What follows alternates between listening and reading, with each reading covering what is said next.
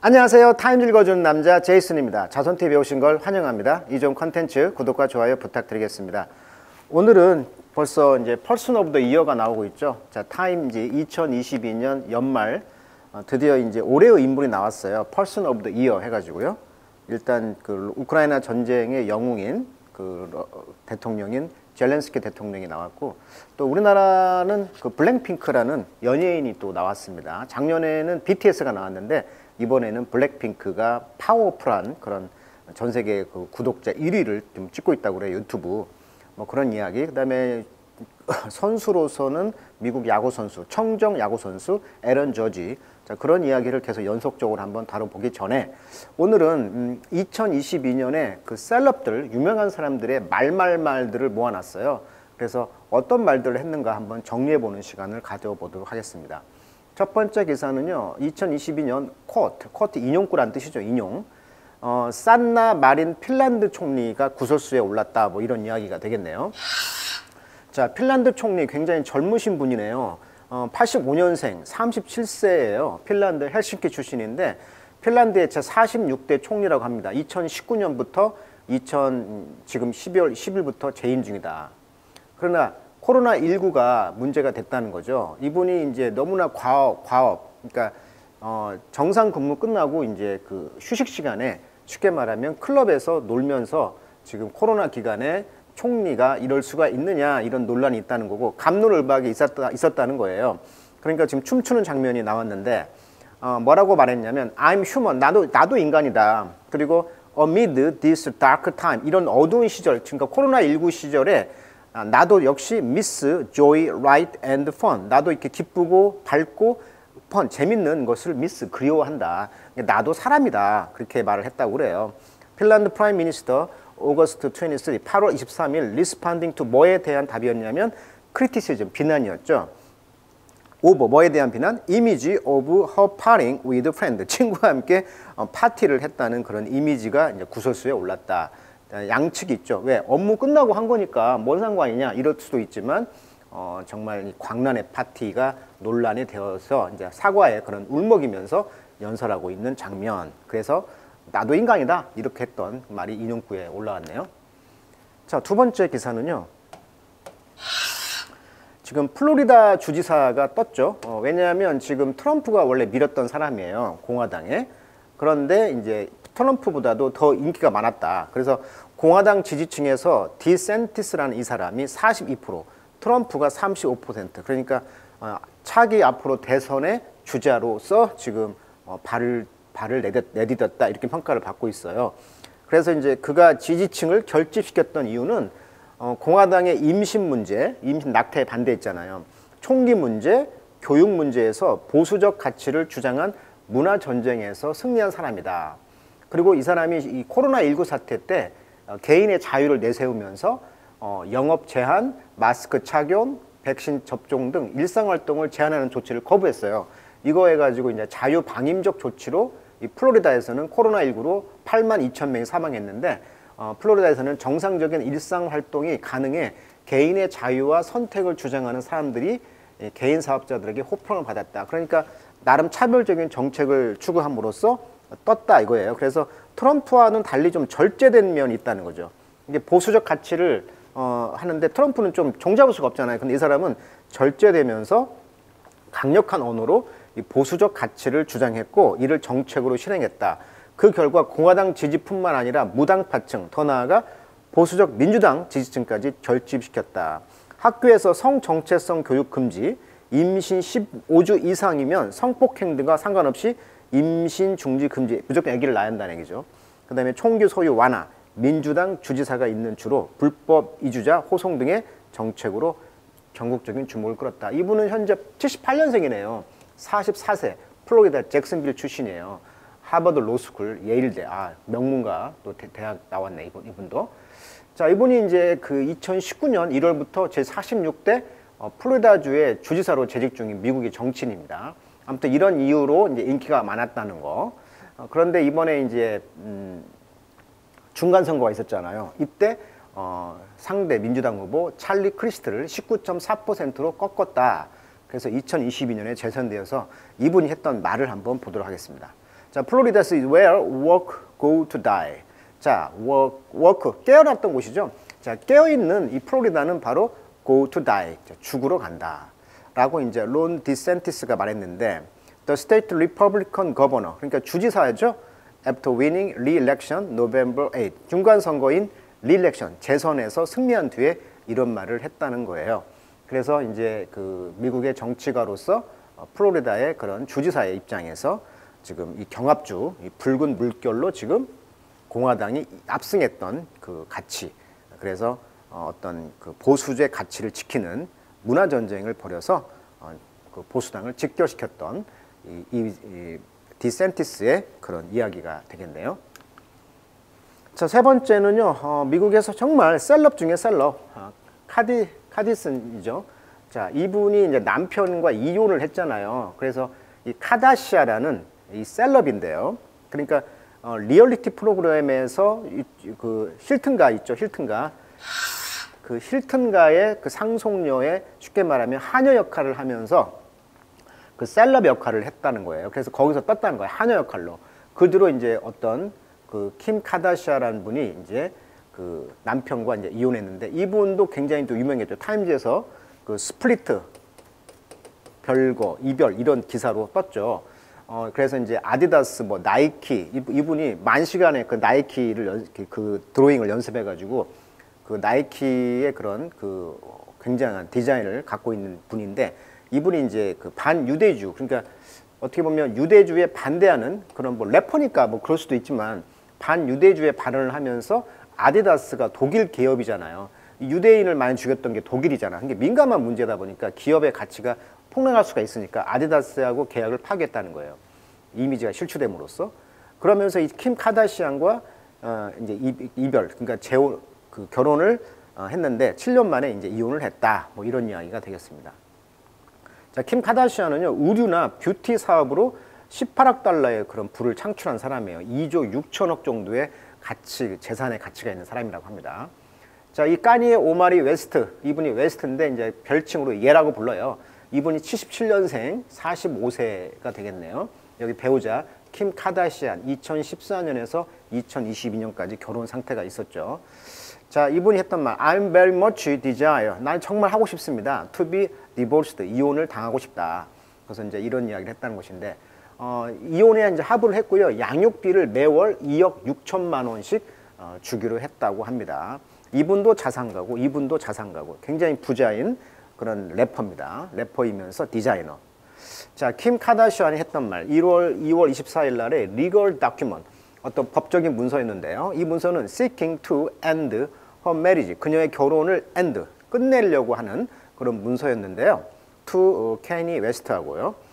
어, 이분은요, whom 누구냐면 she described 그녀가 설명하기를 무엇으로써 causing 야기했다는 거죠. 그녀의 emotional distress를 그러니까 감정적인 스트레스를 줬다는 거죠. 예, 감정적 스트레스를 줬다는 미국의 힙합 가수 어, 모델 겸 패션 사업가인 킹 카다시아와 이혼을 이제 할 수밖에 없었다라고 어, 이야기를 하고 있는 이야기. 자, 네 번째 기사는요.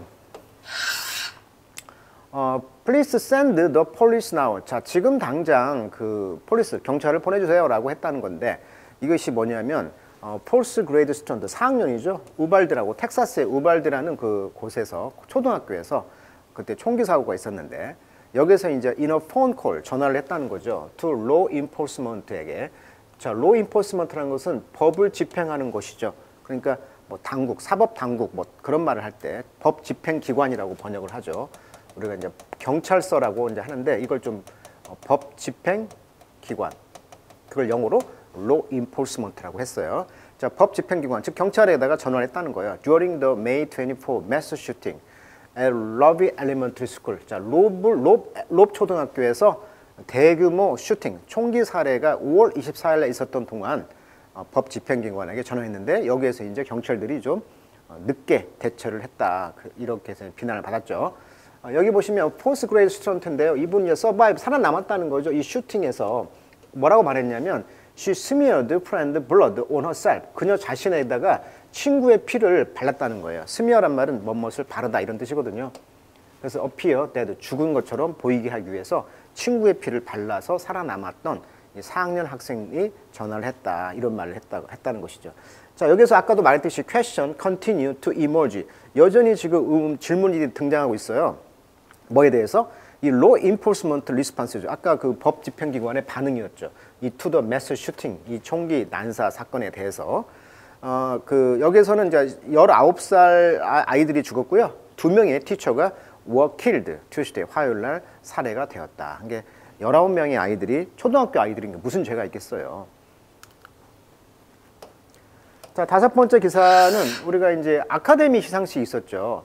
어, 우리가 이제 아카데미 시상식에서 어떤 일이 있었냐면 그 오스카상이라고 하죠. 오스카. 아카데미 시상식을 다른 말로 오스카 시상식이라고 그래요. 그 오스카라는 그 상장, 그 시상 그 상 상품 있죠. 그 뭐라고 할까? 그 트로피. 그 트로피의 그 어원이 이제 오스카라는 뭐 삼촌인가? 그 뭐 삼촌 이름에서 따와가지고 그 오스카 상이라고 그래요. 그래서 오스카 상이 있었던 그때 즉 아카데미 시상식에서 있었던 이야기 굉장히 유명했던 이야기죠.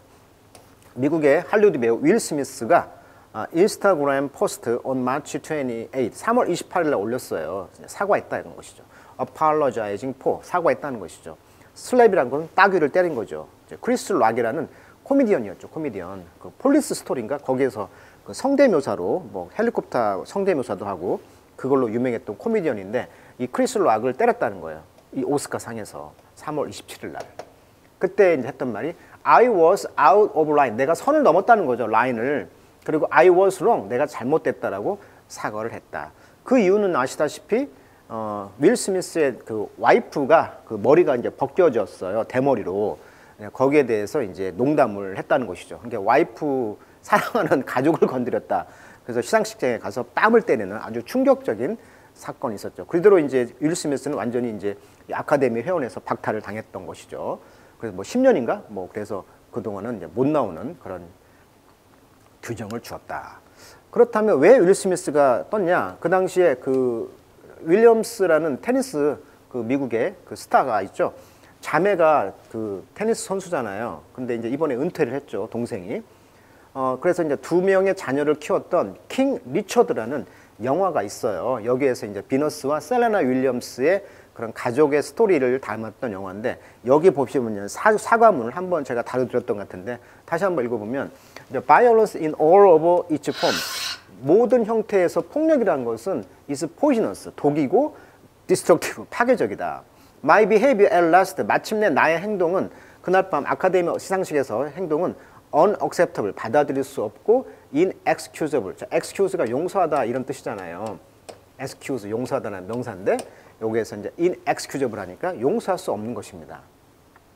자, joke at my expense 내 그 비용에 대한 조크에 대한 비용이 part of the job 그 일, 일부였지만 a joke about Jedi medical condition 그렇죠. 자기 와이프의 이런 의료적 상황 그러니까 머리가 빡 벗기는 대머리가 되는 이런 탈모 증상에 대해서 농담을 했다는 것인데 이것은 too much me 나에겐 너무 컸습니다. bear 참기에는 그래서 나는 reacted emotionally 나는 감정적으로 반응했습니다. 그래서 어, 사과를 한다 이런 이야기가 되겠습니다. 자 여섯 번째 기사는요. I am the effing. effing이란 말은 욕이랍니다. 욕. 욕이라고 해요. 그래서 제기랄. 내가 대통령이냐? Take me up to the Capitol now. 나를 지금 당장 캡톨 미국 그 국회의사당으로 데려가라. 이 캡이란 말이 캡이 헤드란 뜻이잖아요. 머리. 그래서 우리가 자본이라는 것도 이제 capital이란 말 쓰죠. capital. 자본 또는 수도란 말도 되죠. 머리니까.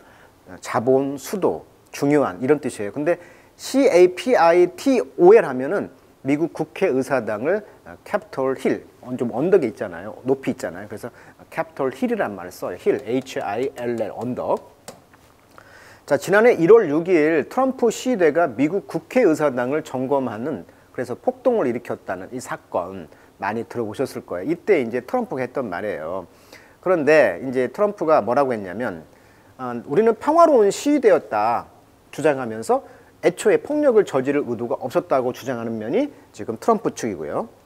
어, 이제 청문회를 했잖아요. 이거 사건에 대해서 민주당이 청문회를 했는데 이날 이제 트럼프의 행동은 애국적이지도 않았고 미국적이지도 않았다. 왜 대통령이니까 주장을 했다는 거예요. 이게 허치슨이라는 여자분, 이게 아마 25인가요?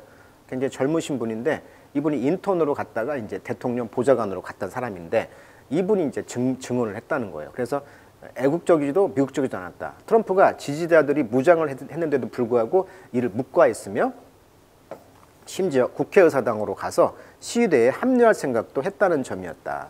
또한 폭력 사태가 벌어질 수 있다는 참모들의 사정 경고도 무시했다라고 이렇게 이제 청문회에서 이제 증언을 했다는 거죠. 그래서 어, 욕을 해, 욕을 하면서 내가 대통령인데 나를 빨리 Capitol Hill로 데리고 가 이렇게 했다는 것을 증언했다는 거예요 지금. 자 former House죠 전 그 백악관의 에이즈 보좌관인 이 허치슨이란 분이 이 June 28 testimony 그러니까 이번 6월 28일 testimony 청문회에서 증언을 했다는 거죠. testimony 증언 뭐라고 증언했냐면 어, relating 관, 관련시켰다는 거죠. What then 그 당시 President 도널드 트럼프가 reportedly 보고하기를 instructed 지시했다는 거죠. 그의 security detail 그의 그 보좌관들 그 보안 안보 보안 관련된 사람들에게 to do during the January 6th insurrection. insurrection이란 말은 in이 반대 접두사고요. sur가 일어나다 rise란 뜻이거든요. 그러니까 봉기란 뜻이에요. 봉기. 그런데 in이 반대니까 정부에 대해서 반항하는 봉기, 즉 반란이 되겠죠. 그래서 insurrection은 뭐라고 번역한다? 반란 이렇게 하면 되겠네요. 그래서 이런 반란에 대해서 1월 6일 날 이렇게 저기 정, 그 이미 그 선거에 졌는데도 불구하고 여기에서 반란하는 이런 폭동을 일으켰다는 거에 대해서 그의 security, 그의 그 보안, 안보팀에게 지시했다는 거죠. 뭐라고? 어, 나를 Capitol Hill로 데려가라. 마치 선동을 했다는 거죠. 본인은 트럼프 자, 체는 이제 거짓말을 하고 있는 거죠. 우리는 평화로운 시대였다. 근데 결과는 그게 아니었으니까 이것을 이제 허치슨이라는 보좌관이 어, 깠다는 것이죠.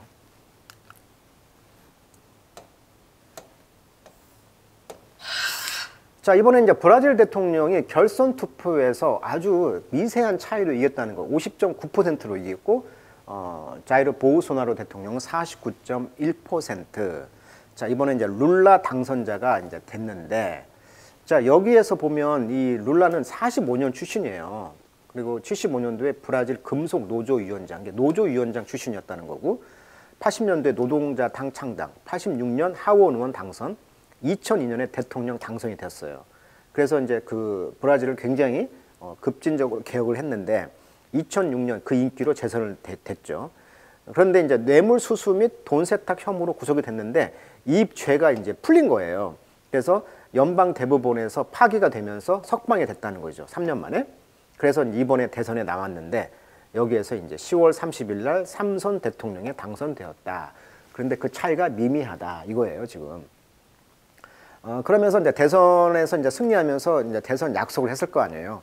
그러니까 좌파니까 빈곤층 지출을 확대했을 것이고 당연히 부유층의 과세를 세금을 좀 강화를 시킬 것이고 최저임금 인상, 한 달 소득 950달러, 135만 원 이하 소득세 면제, 외국 정부와의 관계를 재정립하겠다. 그다음에 여기 특별히 인상적인 것이 아마존 유역의 체벌 억제 등을 공약했다 이렇게 나와 있어요. 그러니까 아마존 유역을 이 자유로 보우소나라 대통령이 막 체벌했다는 거예요. 파괴를 많이 했는데 그래서 늘 불에 타고 있었던 아마존 이야기를 어, 한번 다뤄서 드렸죠 전 시간에. 그래서 이제 아마존 유역을 이제 체벌을 억제하겠다. 환경 보존을 하겠다라고 이제 룰라 대통령이 말했다. 이 배경을 알고 했던 말을 한번 들어보자고요. I experienced a resurrection. 자, resurrection. 아까도 반드시 이야기했듯이 써가 rise 일어나다 뜻이라니까요. 어원이 뭐 리가 다시니까 다시 일어난다. 그게 뭐야? 다시 일어난다. 부활이라고 볼 수 있겠죠. 부활. 그러니까 삼선이 삼선 대통령이 됐으니까 나는 이번 부활, 제 부활을 경험했습니다. 어, 전 대통령이었죠. 이분이 10월 30일 날 following on election victory죠. 이 선거에서 이겼는데 누구에 대해서 이겼어? over 볼소, 볼소나로 대통령에 대해서. that will return him to the country top office. 그래서 그를 이제 이 나라의 top office, 즉 대통령궁으로 그를 return, 돌려오는 승리를 한 뒤 했던 말. 나는 정말 이제 부활이 됐어요. 나는 resurrection, 다시 이제 어, 재건, 재건을 경험했다. 뭐 이렇게 말을 했다는 것이죠. 자, 브라질이 어떻게 앞으로 될 것인지 한번 지켜보도록 하고요. 자, 그 다음에 이제 어떤 기사가 또 있냐면요.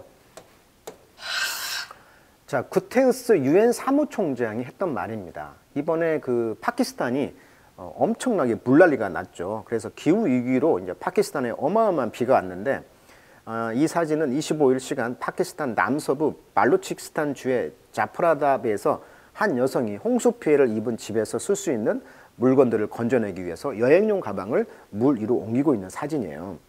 어, 파키스탄 정부는 올 석 달 가까이 이어진 폭우로 큰 피해를 입자 국제사회의 지원을 요청했다. 이런 기사인데 어, 파키스탄 같은 경우는 탄소 배출량이 거의 나오지 않는 나라임에도 불구하고 왜 기후 위기의 피해를 우리만 받느냐? 우리는 0.4%만 탄소 배출하는 나라인데 그래서 파키스탄 국토의 3분의 1이 잠기고 인구가 3,300만 명이 수해를 입었다. 이렇게 해서 이 유엔 사무총장이 야 기후 참사 부유한 나라 책임 아니야? 이렇게 말했다는 거예요 지금.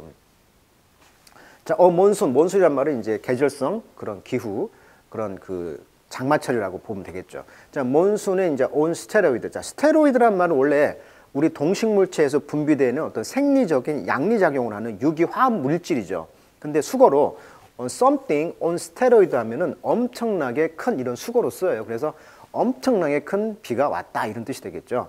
미국의 세크리터리 그러니까 어, 사무총장이 되겠죠. 아까 방금 했던 구테우스라는 분 이분이 이제 어, 포르투갈 출신이죠. 이분이 이제 어, 8월 30일 날 Description of Historic Flood 이 역사적인 이런 flood 그러니까 이런 그 홍수에 대해서 description 설명을 했다는 거죠. 뭐라고? 이것이 이제 displaced 사람을 displace니까 잘못 놓았다. 즉 자기 집이 있는데 그 집을 떠나게 하는 거예요. 그러니까 일종의 이제 난민이 된 거죠. 난민. 이건 이제 실향민이라고 하죠. 실향민. 어, place 장소를 dis 떠나는 거예요. 그래서 30 million people 방금 이야기했듯이 3,300만 명의 그런 이재민이 발생했다. 그 이재민을 한 말을 이제 displaced라고 합니다. 물론 refugee란 말도 써요. refugee. 그렇죠? 이때 refugee는 이제 고향을 이제 떠난 거고요. 여기는 고향 안에서 그러니까 국내에서 떠나는 거고요. 국내를 떠나는 게 refugee라고 한다면 이 국내에서 어떤 이런 홍수라든지 어떤 그 총기 문제라든지 이런 걸로 잠시 그 집을 떠난 것을 displaced라고 합니다. 차이가 좀 있어요. 자, refugee냐, displaced냐 그 용어 정리 잠깐 해드렸고요.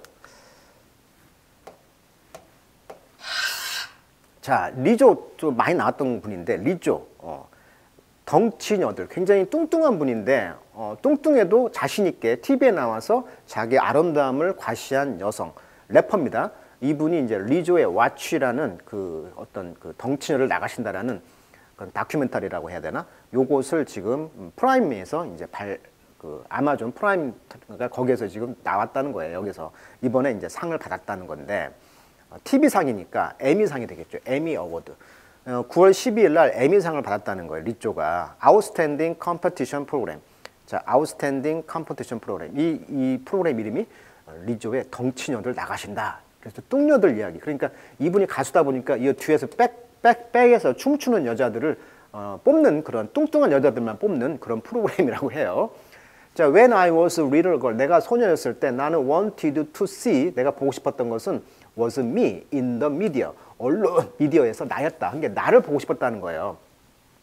자, someone felt like me, 나처럼 뚱뚱한 여자, 그다음에 나처럼 black, 흑인 여자, 그리고 나처럼 beautiful, 아름다운 여자를 나를 TV에서 보고 싶었다. 굉장히 뚱뚱한 여자인데 어, 여기에서 지금 이 출연진들이 보면 다 뚱뚱한 사람들이 나오는 그런 리얼리티 프로그램에서 에미상을 받았다. 자 마지막으로요.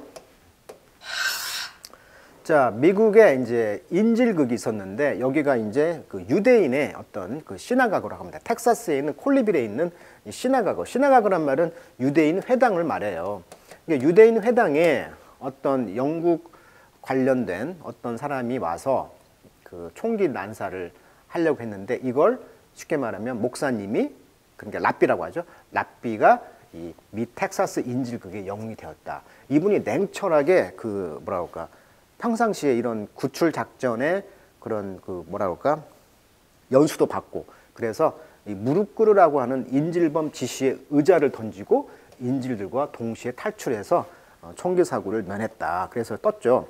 그래서 이제 인질극 종료 후에 이 랍비가 어, 지인과 포옹하는 랍비 찰리 사이트로 워커라는 분이 이 회당 이 시나고그 유대인 회당 랍비 찰리가 이제 그렇죠. 포옹하고 있는 사진이 실렸는데 구출이 아닌 탈출이었다 이렇게 평가하고 있어요. 그래서 자, stark reminder 아주 그 명백하게 상기시켜줬다는 것이죠. anti-Semitism, Semitism이 이제 유대주인데 반, 반유대주죠. 자, anti-Semitism이 여전히 alive, 살아 있으며 we must continue, 우리는 계속 해야 됩니다. Fight죠, 싸워야 된다는 거죠. worldwide, 전 세계적으로 유대교, 반유대주와 싸워야 됩니다라고 명백하게 상기시켰던 말을 했다는 거죠. 누가? Prime Minister of Israel, 이스라엘 전 총리네요. 나파, 나탈리 베네딕트라는 분이 on the January 50 hostage crisis, 그러니까 인질 위기였죠. 어, 텍사스의 이런 해교 시나고그에서 어, 1월 15일 이런 인질극 위기 상황에서 전 총리였네요. 나탈리 베네딕트라는 분이 했던 말입니다. 뭐라고? 여전히 반유대주가 있고 우리는 전 세계적으로 전 세계적으로 유대교, 반유대교와 싸워야 됩니다. 이런 말을 했다는 거예요. 자, 오늘은요. 2022년 말말말 어, 셀럽들의 말말말을 통해서 2022년에 어떤 일이 있었는가를 한번 한번 잠깐 짧은 영어로 한번 살펴드렸습니다. 자, 오늘 여기까지 하도록 하겠습니다.